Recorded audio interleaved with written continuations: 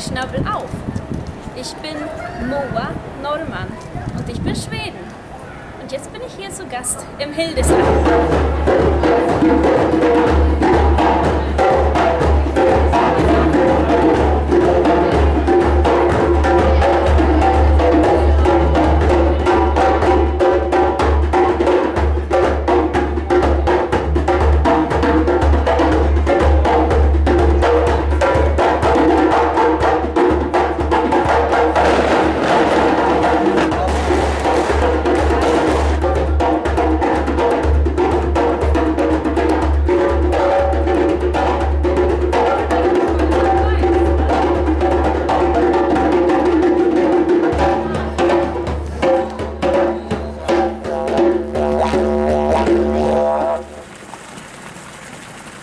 Ich war schon mehrere Male hier in Deutschland, aber das hier ist das erste Mal, dass ich allein bin, ohne meine Familie.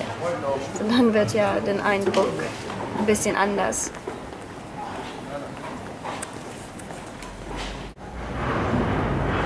Es gefällt mir sehr auf diesem Platz hier. Es ist so schön hier. Ja, das stimmt, das ist wunderschön hier. Jättevackert, sagt man auf Schwedisch. Was heißt das? So wunderschön. Ah,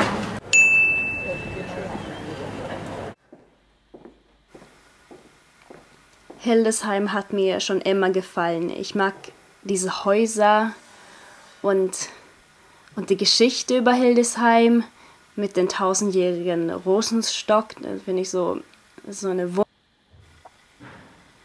Und eigentlich gibt es da nichts, was ich Schlechtes über Hildesheim sagen könnte.